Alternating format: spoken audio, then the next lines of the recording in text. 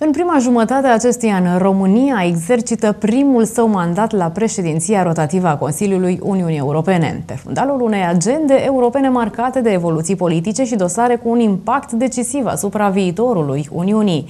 Pe parcursul celor șase luni de mandat, România va urmări prin acțiunile sale consolidarea coeziunii și unității europene. În perioada 1 ianuarie-30 iunie 2019, România va exercita primul său mandat la președinția rotativă a Consiliului Uniunii Europene, pe fundalul unei agende europene marcate de evoluții politice și dosare cu un impact decisiv asupra viitorului Uniunii. Procesul de ieșire al Marii Britanii din Uniunea Europeană, negocierea bugetului Uniunii pentru perioada 2021-2027, alegerile pentru Parlamentul European din mai 2019, precedate de o campanie cu mize politice majore și mesaje cu potențial de dezinformare și diviziune la nivel european vor spări complexitatea agendei viitoarei președinții a Consiliului UE.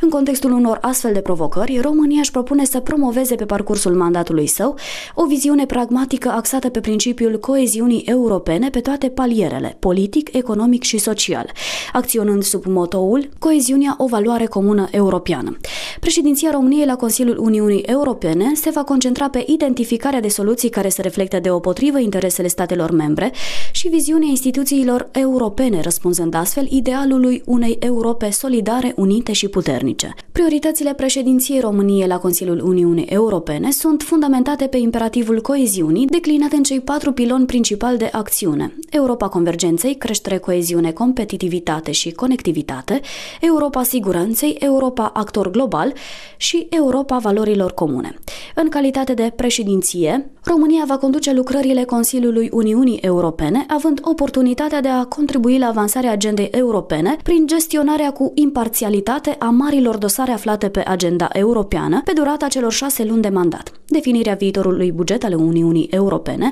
funcționarea pieței unice europene, consolidarea dimensiunii sociale a UE, agenda de securitate internă a Uniunii, lupta împotriva terorismului, gestionarea fenomenului migrației și consolidarea rolului Uniunii Europene în plan global. Calendarul Calendarul președinției României la Consiliul Uniunii Europene cuprinde un număr important de reuniuni și evenimente de nivel sau cu componentă predominant tehnică, oficiale sau informale. Alături de summitul informal de la Sibiu din data de 9 mai 2019, momentul cheie în care vor fi identificate liniile care vor ghida acțiunea Uniunii pe termen mediu în scopul agreării viitoarei agende strategice a UE, numeroase evenimente informale organizate la nivel național vor oferi oportunitatea evidențierii avantajelor comparative ale României și a promovării viziunii naționale naționale asupra evoluției anumitor politici europene. Pornind de la cei patru piloni, președinția României la Consiliul UE va urmări asigurarea convergenței în plan economic și social prin promovarea avantajelor provenind din digitalizarea industriei europene, prezentarea celor patru libertăți fundamentale ale pieței interne, promovarea egalității de gen și sprijinirea politicii de coeziune și a politicii agricole comune. În procesul de consolidare a rolului UE în plan global, va evidenția importanța politicii de extindere și a acțiunii Uniunii în vecinătate, cu un impact pozitiv în ecuația regională. Nu în ultimul rând, președinția României la Consiliul UE va acționa pentru protejarea alegerilor democratice și libere pentru Parlamentul European împotriva interferențelor externe,